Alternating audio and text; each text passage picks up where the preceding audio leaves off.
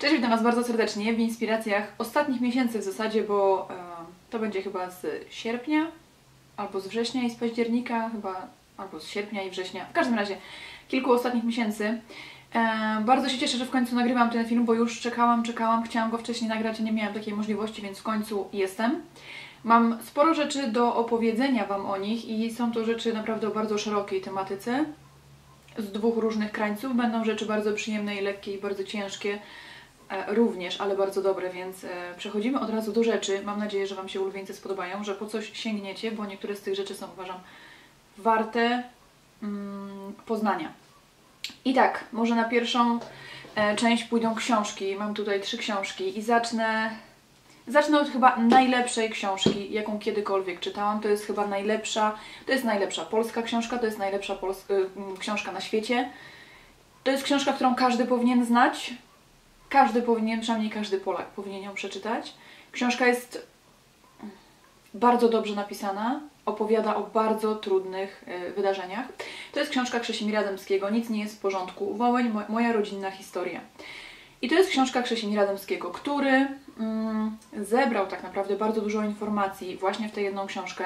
Natomiast jest to historia tak naprawdę mm, historia krwawej niedzieli na Wołyniu. Ale nie tylko. Domyślam się, że większość, jak nie wszyscy, e, znają historię rzezi na Wołyniu e, i to jest historia właśnie opowiedziana przez rodziców Krzesimira Dębskiego, którzy to tak naprawdę cudem uratowali się od pogromu, jaki urządzili Ukraińcy właśnie na wsi, we wsi Kisielin i to byli właśnie Ukraińcy z UPA. I słuchajcie, zginęło tam bardzo dużo ludzi, kilkadziesiąt Polaków, Historia jest bardzo smutna, historia jest bardzo trudna. Historia tak naprawdę jest trochę wyparta przez y, Ukraińców. Tak naprawdę do tej pory historia ta nie jest rozliczona. Ale wracając do książki. Tak jak mówię, to jest książka napisana przez Krzesimira, ale on tutaj zbiera dużo różnych informacji. Jego ojciec też, y, ponieważ uratowali się właśnie z, tej, y, z tego pogromu, postawił sobie chyba za taki cel życia e, udokumentować bardzo skrupulatnie wszystkie, mm, wszystkich ludzi, wszystkie osoby, które w tym uczestniczyły, wszystkich ludzi, którzy wtedy żyli e, i zrobił coś tak naprawdę na kształt takiej kroniki, bardzo szczegółowej, której fragmenty są tutaj w tej książce, e, bo ta książka właśnie jest takim zbiorem właśnie i takich bardzo dokładnych właśnie dokumentów powiedzmy z kroniki, ale też rozmów e, z, z mieszkańcami, z osobami, które pamiętały te wydarzenia, które przeżyły je na przykład, albo znają historię. Więc mamy tutaj tak naprawdę trochę też różne typy narracji, bo mamy tutaj właśnie też i powrót do przeszłości, właśnie do tych wydarzeń. Mamy też wydarzenia dalsze, mamy też historię tak naprawdę niektórych osób, niektórych postaci właśnie. Um, ta książka jest bardzo skomplikowana. Ta książka porusza wiele różnych problemów, oprócz, oprócz tak naprawdę tego tragicznego wydarzenia, które miało miejsce, właśnie poprzez jakby rozliczenie historii i przez to, co tak naprawdę się wydarzyło i to, do czego tak naprawdę zdolni są ludzie.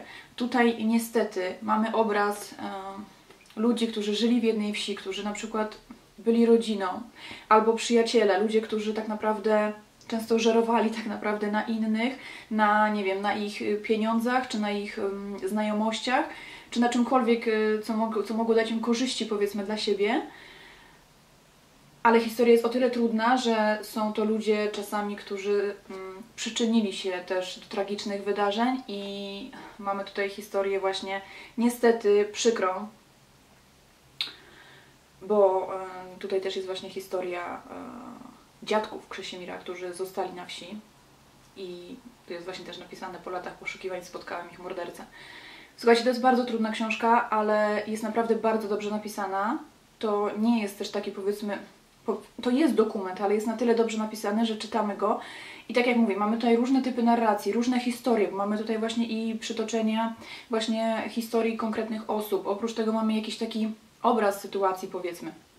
Mamy też jakby przeskok do, do innych lat, do lat późniejszych, nawet do teraźniejszości. Jak to wygląda, co się dzieje tak naprawdę. I to jest bardzo dobra książka. A coś, co najbardziej mnie chyba poruszyło w tej książce, to to właśnie sposób, w jaki jest napisane. Dlatego, że wydarzenia są tak straszne, że one nie potrzebują dodatkowego komentarza. Tutaj nie mamy naprawdę zbędnych słów, nie mamy tutaj zbędnych emocji, nie mamy też za bardzo takiej oczywistej i powiedzianej wprost oceny pewnych postaci, tylko mamy, można by powiedzieć, że takie suche fakty albo po prostu taką relację, która właśnie przez to, że nie jest tak naprawdę nasycona żadnymi emocjami, daje nam tak dużo emocji, nie wiem, nerwów, niezadowolenia, złości, ale i żalu, współczucia, smutku.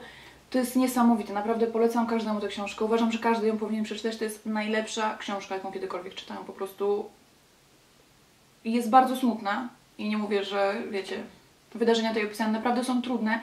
I to jest naprawdę trudna i bardzo smutna książka i pokazuje niestety, jak czasem złym, złą, złym człowiekiem może być człowiek i jak czasami sobie robimy sami krzywdę, ale warto, naprawdę warto i zostawiam Was tym. Mam nadzieję, że ktoś po nią sięgnie, bo książka jest rewelacyjna, naprawdę polecam. Dobra, druga książka, może przejdę do niej później. Tutaj będzie coś, coś powiedzmy przyjemniejszego. I to jest książka Michała Rusinka, Nic zwyczajnego o Wisławie Szymborskiej. To jest książka napisana właśnie przez e, Michała Rusinka, który został całkiem przypadkiem sekretarzem pani Wiesławy. To było albo zaraz przed tym, jak dostała Nagrodę Nobla, albo zaraz po. Miała wtedy mm, natłok, powiedzmy, zajęć, potrzebowała kogoś, kto jej pomoże. I pan Rusinek miał być e, tak naprawdę chyba przez kilka tygodni z nią, tak jakoś na próbę, tak wstępnie, żeby ona mogła się uporać z pewnymi rzeczami, a został przez 15 lat. I mamy tutaj bardzo ciekawą e, książkę, tak naprawdę bardzo ciekawe relacje, pewne E, mamy tutaj też na przykład częściowo listy, jakieś wycinki z gazet, mamy tutaj zdjęcia. E, mamy tutaj historię Wisławy Szymborskiej, która ukazuje się nam jako osoba, tak naprawdę przez tę książkę możemy ją poznać, możemy bardzo dobrze poznać Panią Wisławę, dlatego, że to była niesamowita postać, to była osobowość. E, i o niej też tak mówi właśnie Michał Rusinek. To była niesamowita kobieta, naprawdę, była bardzo skromna, była taką osobą, która ceniła, ceniła i szanowała innych, ceniła czas i swój i innych, nie marnowała go na różne rzeczy. Mm, była taka powściągliwa, ale była bardzo inteligentna i bardzo zabawna. Mamy tutaj naprawdę mamy tutaj taki obraz bardzo takiej dobrej, bardzo sympatycznej kobiety, która e, jest bardzo skromna, jest bardzo inteligentna, ale przy tym ma też swój charakter. Mm, I, I naprawdę można się wzorować często na tej postaci, na, na tym, jak, jak właśnie była powściągliwa, jaką, jaką mm, charakteryzowała się kulturą osobistą. To jest coś niesamowitego. Naprawdę mamy tutaj przytoczone różne sytuacje z jej życia, właśnie w których też uczestniczył Michał Rusinek, jak to wyglądało, niektóre śmieszne. I sprawia to, że mamy taki obraz właśnie takiej bardzo, bardzo sympatycznej i dobrej osoby. I bardzo dobrze tę książkę się czyta. I mamy takie wrażenie właśnie, że, że to była osobowość. Naprawdę bardzo przyjemna książka, więc polecam Wam również o Wisławie Szymborskiej. Michał Rusinek i kolejna książka to jest coś rewelacyjnego. Słuchajcie, dzisiaj naprawdę są same dobre książki i polecam Wam wszystkie. Co prawda jedna jest e, najlepszą na świecie książką. I to jest e, Dlaczego mężczyźni nie słuchają, a kobiety nie umieją czytać map. Alan i Barbara Peace. No i to są, wiecie, amerykańscy naukowcy, powiedzmy, napisali razem książkę, to jest małżeństwo, które napisało książkę wspierając się tak naprawdę badaniami e, naukowymi, medycznymi, i wszystkim, co jest dostępne na temat różnic e, w mózgu, w budowie mózgu mężczyzny i kobiety, bo okazuje się, co nie jest w zasadzie niczym nowym, że różnice w mózgu między kobietami a mężczyznami są ogromne. I tak naprawdę często nie zdajemy sobie sprawy, z czego wynikają pewne różnice, czemu czasami naprawdę nie możemy się dogadać, dlaczego kobiety w kółko mówią, dlaczego mężczyźni się zamykają, dlaczego kobiety widzą więcej kolorów, a mężczyźni mniej, dlaczego ym, my potrafimy rozmawiać i robić różne rzeczy, mężczyźni potrafią robić tylko jedną rzecz yy, jednocześnie. To jest bardzo ciekawa książka, która jest bardzo fajnie też napisana. Mamy tutaj właśnie mm, głównie to wszystko jakby, nie wiem na ile można w zasadzie wierzyć tej książce, ale wydaje mi się, że a jeżeli jest poparta badaniami naukowymi, to całkiem wszystko jest tutaj wiarygodne. Natomiast, słuchajcie, to jest niesamowite, naprawdę, bo jak ja zaczęłam to czytać, to już pomijając fakt, naprawdę, że momentami byłam zaskoczona, bo oczywiście wiemy, że się różnimy. To nie jest, tak jak powiedziałam, nic nowego. Ale jeśli okaże się, że mamy e, dowody na to, takie namacalne, na to, że dlaczego tak się dzieje, dlaczego mężczyźni naprawdę widzą mniej kolorów, dlaczego, mm, dlaczego mężczyźni nie potrafią naprawdę znaleźć lod, masła w lodówce, a to dlatego, że ich wzrok też trochę jest inaczej zbudowany, dlatego że mężczyźni są jakby nastawieni na patrzenie na cel, daleko. Kobiety mają e, szerokie pole widzenia, dlatego że były od lat, przez wieki tak naprawdę, przyzwyczajone do tego, że mają chronić gniazdo. I to nam zostało po prostu. Tak samo jak to, że mężczyźni są gruboskórni, e, bo mają naprawdę grubszą skórę, żeby nie odczuwać e, różnych mm, takich środowiskowych warunków, kiedy na przykład idą polować albo idą, nie wiem, walczyć. Po takie rzeczy codzienne, które wychodzą w, w naszych kontaktach, w naszych relacjach, takich jak właśnie mm, rozmowa, tak? Kobiety przez rozmawianie budują relacje, mężczyźni zajmują się gadżetami, mężczyźni nie rozmawiają, mężczyźni kiedy mają problem zamykają się e, w sobie i nie jest to właśnie kwestia tego, że, że nam nie ufają, tylko w momencie kiedy my pytamy o coś, okazuje się, że oni to traktują bardzo osobiście i w momencie kiedy my chcemy im pomóc, dla nich to jest sygnał, że oni nie są dość dobrzy, nie są dość męscy, żeby poradzić sobie z, z tą sytuacją i dlatego czują się obrażeni. Czego my w ogóle nie mamy na myśli. I takich sytuacji jest mnóstwo, można by przytaczać naprawdę wiele przykładów. Coś, co mnie najbardziej zaskoczyło, znaczy tutaj bardzo, bardzo wiele mnie rzeczy zaskoczyło. E, mamy też tak naprawdę, tak, po pierwsze mózg jest inaczej zbudowany. Mamy zupełnie inaczej rozstawione ośrodki w mózgu. Mamy też, e, my kobiety, mamy na przykład o wiele więcej połączeń między dwoma półkulami. Dlatego u nas bardzo często jednocześnie pracują obydwie półkule i obydwie komunikują się między sobą. U mężczyzn pracuje zawsze tylko jedna, dlatego kiedy oni coś robią manualnie, to nie potrafią na przykład rozmawiać, tylko muszą coś skończyć, żeby na przykład, wiecie, coś powiedzieć albo, albo zacząć coś innego. My kobiety możemy robić kilka rzeczy jednocześnie. Mm, bardzo ciekawą rzeczą jest to, że my naprawdę nie mamy wyobraźni przestrzennej i mamy tak skonstruowane mózgi, żebyśmy chyba jej naprawdę nigdy nie miały.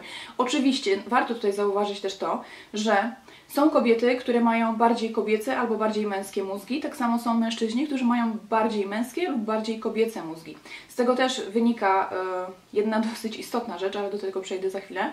Dlatego też tak naprawdę niektóre kobiety mają lepiej rozwinięte, powiedzmy, bardziej męskie ośrodki niż, e, niż kobiety. Jednak myślę, że na takiej płaszczyźnie, powiedzmy, wspólnej, no to jednak kobiety zawsze zostaną kobietami i mogą być lepsze od innych w jakiejś danej kwestii, ale myślę, że nigdy nie dorównają mężczyźnie jednak.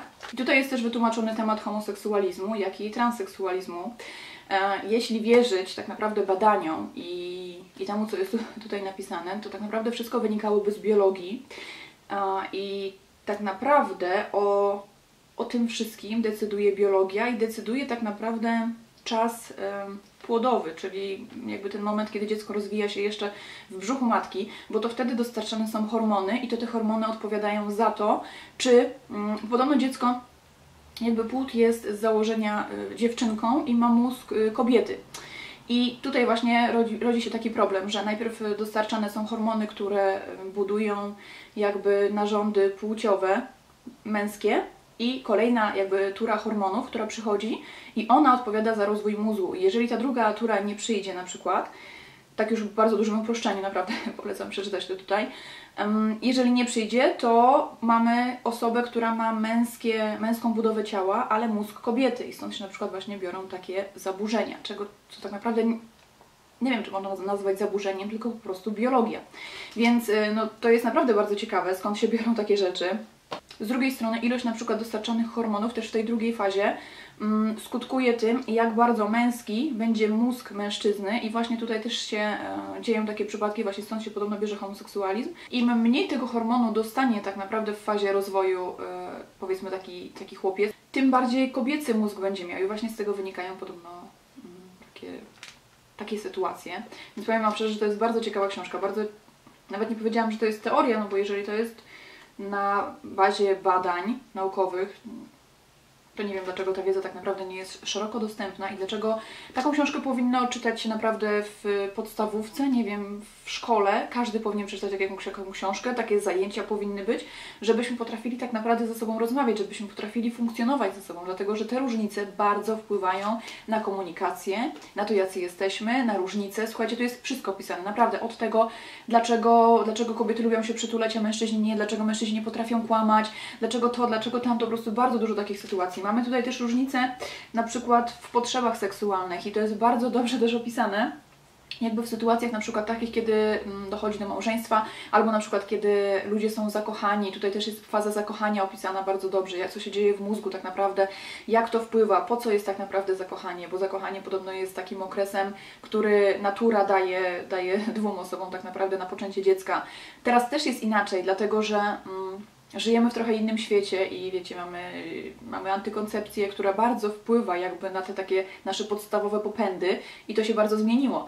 Ale takie podstawowe właśnie rzeczy, które natura tak naprawdę działa tak samo cały czas i jesteśmy tak samo zbudowani, więc um, to znaczy tak jak byliśmy kiedyś. Więc to są właśnie takie bardzo, bardzo ciekawe różnice. Tu jest też bardzo fajna, słuchajcie, um, podsumowanie powiedzmy, dlaczego, co się dzieje po ślubie, nie chciałam tutaj też nikogo obrazić, bo to jest raczej w formie żartu, ale tu jest takie podsumowanie, że seks to cena, którą kobiety płacą za małżeństwo, małżeństwo jest ceną, którą mężczyźni płacą za seks. Bo tak naprawdę mężczyznom za bardzo na tym nie zależy, e, ale jesteśmy tak skonstruowani, że podobno kobiety szukają mężczyzny na całe życie, to znaczy partnera, który będzie w stanie odchować potomstwo a mężczyzna szuka po prostu jak największej ilości kobiet do zapłodnienia.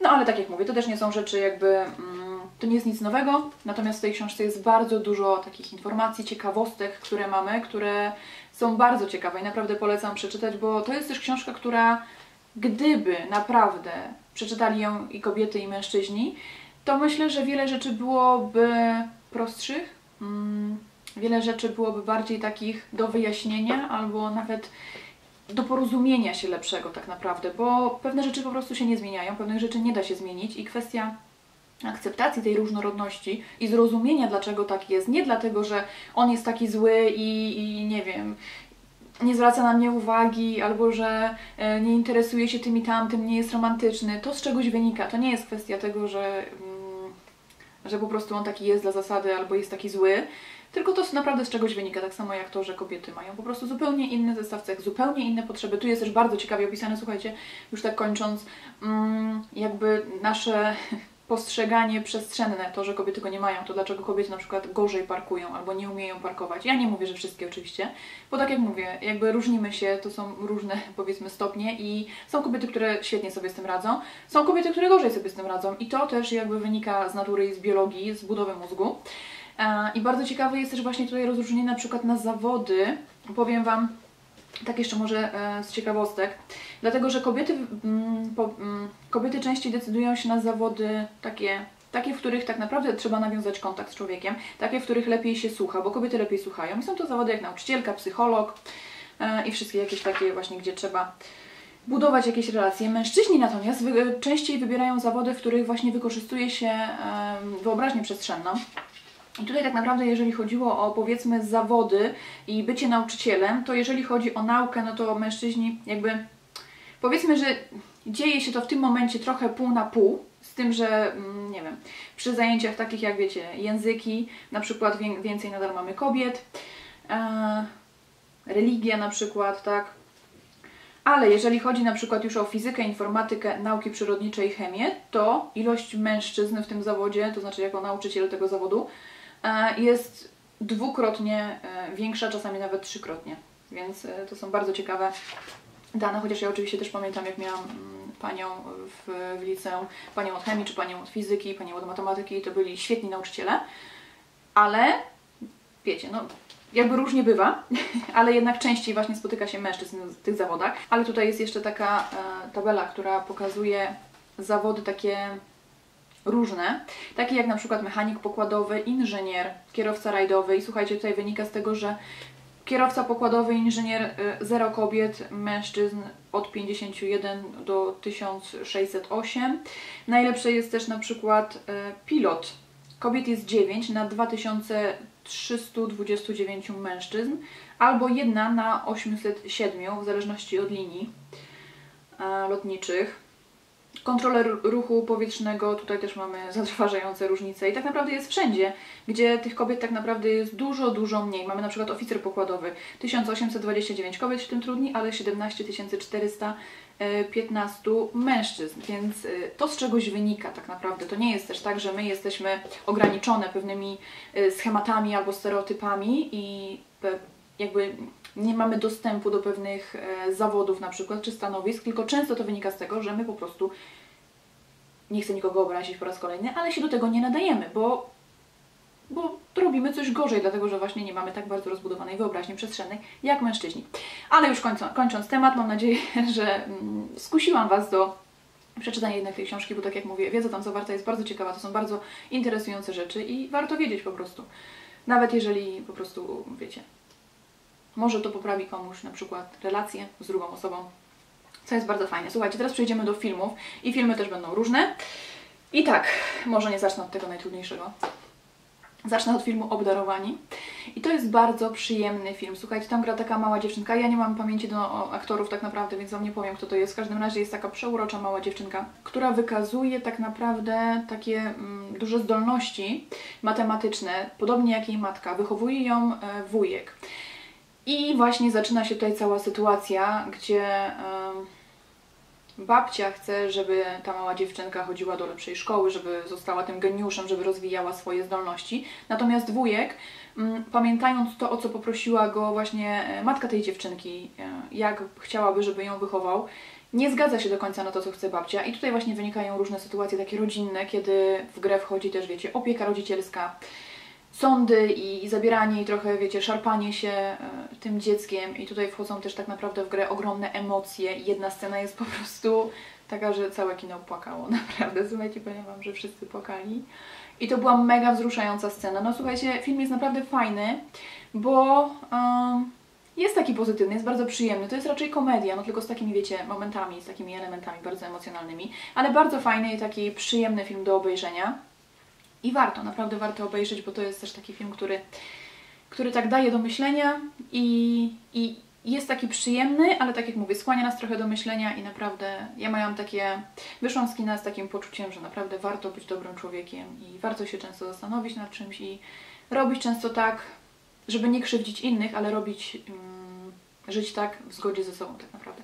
To to będzie pierwszy film, kolejny to będzie Na pokuszenie. Słuchajcie, to jest bardzo dziwny film, ale jedna taka jakby e, całościowa konkluzja, jaką mam, to to jest film, który zaczyna się i kończy. Mamy tutaj naprawdę historię od początku do końca i nic więcej nam nie potrzeba. Jakby a czasami spotykam się z tym, że na przykład filmy, nie wiem, Woody'ego Allena tak się kończą, że w zasadzie to nie wiemy jak, że w zasadzie to nie wiemy co będzie dalej i ta historia mogłaby się toczyć i toczyć jakby czujemy taki niedosyt. A w tej sytuacji byłam o tyle zaskoczona, że po prostu zaczęła się i się skończyła całość i koniec.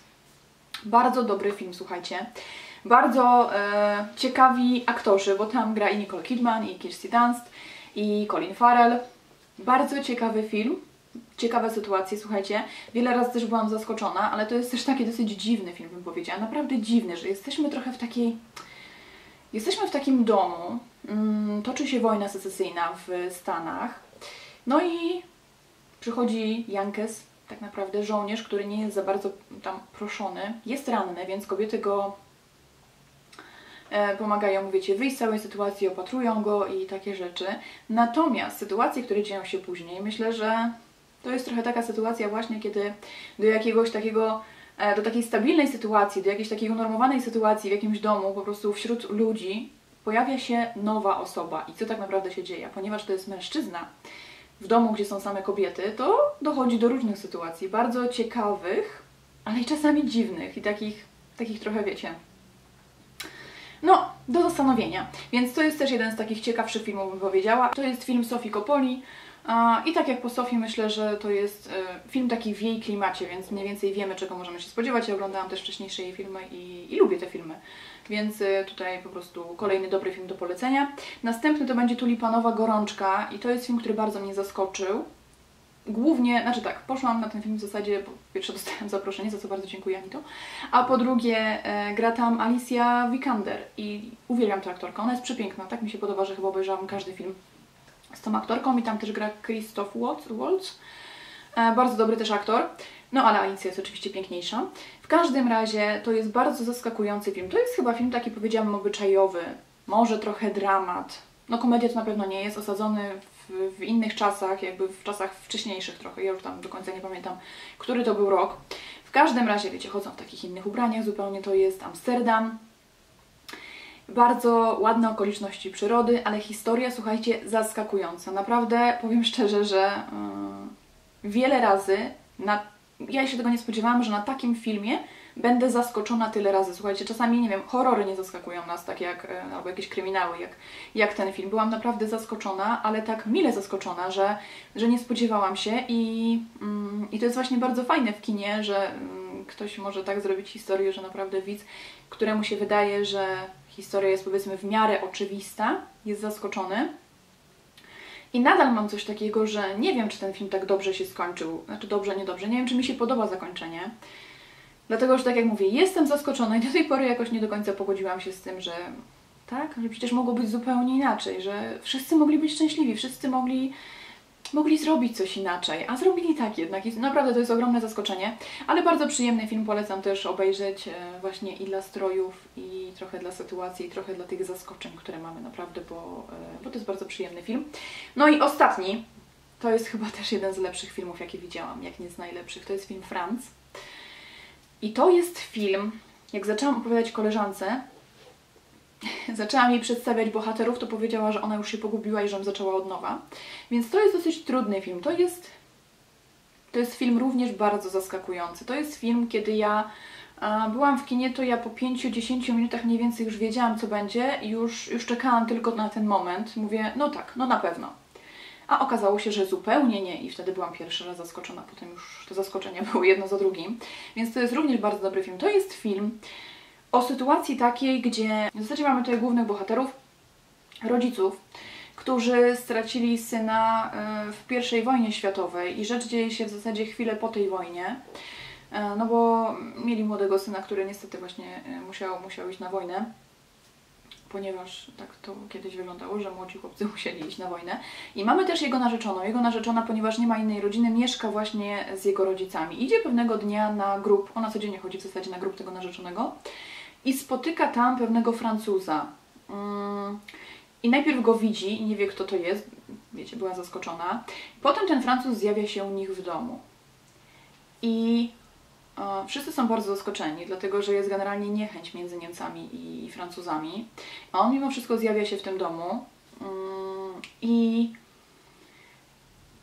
nie wiem, czy Wam mówić o tym, czy nie, ale rodzina zaczyna postrzegać tego chłopca, ponieważ dowiadują się, chłopca, no mężczyzna w zasadzie, dowiadują się, że poznali się na, na wojnie, więc uznają, że jest to jakiś przyjaciel, który mógłby im powiedzieć trochę więcej, co tam się wydarzyło, jak to wyglądało, żeby, wiecie, no oni potem już jakby ich syn poszedł na wojnę i już nie, nie wrócił, więc chcieli się dowiedzieć jak najwięcej właśnie tak naprawdę i, i o nim, i o ich relacji, i o tym właśnie, jak to się stało, że byli przyjaciółmi, no po prostu potrzebowali jakichś, jakichś informacji tak naprawdę. I on też się zbliża trochę do tej narzeczonej, zaczynają spędzać czas, jakby historia się toczy do momentu, kiedy okazuje się, że wszystko jest zupełnie inaczej. I teraz Wam nie powiem, co będzie dalej, bo historia jest naprawdę bardzo ciekawa. E, I, moment, I jest naprawdę kilka takich momentów, które są bardzo dużym zaskoczeniem i film jest bardzo dobry, jest również wzruszający, jest taki, że daje bardzo do myślenia, bardzo też pokazuje, jak ludzie są w stanie zmienić swoje nastawienie Mm, w zależności od sytuacji, w zależności od tego, co wiedzą i na ile mają pewną wiedzę tak naprawdę i na to, jak bardzo czegoś chcą albo jak bardzo chcą w coś wierzyć. Słuchajcie, to jest naprawdę bardzo dobry film, bardzo Wam go polecam. Nie wiem, on już pewnie nie jest grany w kinach, ale może można go po prostu gdzieś obejrzeć. A jeśli ktoś na niego natrafi, to naprawdę polecam bardzo serdecznie, bo to jest bardzo dobry film. Jest w ogóle bardzo ciekawie zrobiony, on jest czarno-biały i jest kilka takich elementów, um, kilka takich momentów, które są jakby w kolorze. I to też odzwierciedla coś, to jest po coś i, i tak, no to jest bardzo dobry film, naprawdę polecam Wam. Polecam Wam jeszcze raz bardzo serdecznie. To jest jeden z lepszych filmów, jakie widziałam i wychodzi się z kina z takim poczuciem, że wow. Trochę tak, taki, taki człowiek jest przytłoczony tym wszystkim, ale z drugiej strony, z jednej strony nie rozumiałam momentami zachowań pewnych ludzi, a czasami rozumiałam i pomyślałam, że no tak. No tak, nie mogło być inaczej w zasadzie, więc to jest naprawdę bardzo ciekawy film z wieloma zaskoczeniami, jakie będziecie mieli po drodze i na zakończenie. Także polecam Wam bardzo serdecznie. I ostatnie rzeczy, tak, będzie muzyka jeszcze, ale jeszcze chciałam Wam polecić wystawę zdjęć Fridy Kahlo i Diego Rivery, którą ja oglądałam w Warszawie na Koszykowej, w bibliotece publicznej i wiem, że ta wystawa będzie jeździła też po różnych miastach. Wiem, że jeszcze będzie w Łodzi i chyba wydaje mi się, że będzie jednak w Poznaniu. Nie wiem do końca. W każdym razie na Facebooku można wpisać wystawa Fridy Kahlo i Diego Rivery i Um, I ona będzie jeździła na pewno po Polsce. To jest wystawa zdjęć. Jeżeli ktoś lubi Fridę albo lubi Diego, albo generalnie nie wiem, lubi chodzić po wystawach, lubi oglądać zdjęcia, to ta wystawa jest bardzo ciekawa, dlatego że można zobaczyć po prostu, wiecie, naocznie e, zdjęcia jakby z prywatnej kolekcji tych dwojga, chociaż tak jak wiem, oboje nie żyją. W każdym razie coś, co mnie bardzo tak mm, wzruszyło i coś, takie, takie pierwsze przemyślenie, jakby, które miałam widząc tę wystawę, to to, że na tych zdjęciach widać ogromną miłość tych ludzi. Słuchajcie, to było naprawdę bardzo trudna miłość, bardzo trudna relacja. I jeżeli ktoś zna tę historię, to wiecie doskonale, że no życzyć komuś takiej miłości, no to chyba już jest lekka przesada, ale, ale na tych zdjęciach widać, że mimo wszystko oni się bardzo kochali. I powiem szczerze, że mało, mało kto i mało kiedy widzę naprawdę tyle uczucia między dwojgiem ludzi. Mimo tego, że tak jak mówię, no ta miłość była trudna, oni na pewno się nienawidzili, ale też naprawdę chyba bardzo się kochali, bo widać jakby wiecie, to nie były zdjęcia pozowane, to nie były zdjęcia robione po prostu, no właśnie tak pozowane do czegoś, żeby pokazać coś, tylko to były zdjęcia właśnie przy takich normalnych, codziennych sytuacjach i w nich widać naprawdę taką, taką czułość, którą oni się obdarzali, tak, taką, taką właśnie miłość, tak, taką przyjaźń powiedzmy i takie, taki szacunek do drugiej osoby, naprawdę, więc to jest y, bardzo dobra wystawa, polecam również wybrać się i, i zobaczyć, jeżeli ktoś jest zainteresowany. I muzyka na koniec to może Wam podlinkuję po prostu albo napiszę na dole co to będzie, bo ostatnio zasłuchiwałam się. To była piosenka Dawida Podsiadło, Nieznajomy. W kółko jej słuchałam, po prostu zakochałam się i w słuchałam jej w kółko. Aż w końcu przestałam, ale zaczęłam też słuchać płyty um, Tori Amos i jest to płyta, słuchajcie, Native Invader. Bardzo dobra płyta. Ja w ogóle uwielbiam Tori Amos i to jest kolejna dobra płyta i coś, co mnie ostatnio zaskoczyło. Nie wiem, kiedy to wyszło, ale bardzo dobrze, że w końcu na to trafiłam, ale wydaje mi się, że to jakaś całkiem nowa płyta jest. To jest płyta zespołu London, London Grammar i płyta nazywa się Truth is a Beautiful Thing. I to jest również bardzo dobra płyta. Ja uwielbiam mm, ten zespół i znowu mamy płyty takie bardzo klimatyczne. I Tori Amos i London Grammar właśnie mają takie bardzo klimatyczne piosenki i to wszystko jest takie spójne. Bardzo dobre płyty również polecam do wysłuchania. Słuchajcie, i to już będzie wszystko. Myślę, że ten film wyszedł bardzo długi, ale mam nadzieję, że kogoś zainteresowałam. Mam nadzieję, że trochę nie, nie zaspoilerowałam dużo rzeczy, ale wydaje mi się, że nie. Także dziękuję Wam bardzo za oglądanie. Dajcie znać, czy oglądałyście, czytałyście któreś z tych rzeczy, albo co Wy mi możecie ewentualnie polecić ciekawego. Będę bardzo wdzięczna. I mam nadzieję, że Wam się ulubieńcy tacy podobali. Także do zobaczenia w następnych filmów. Pa!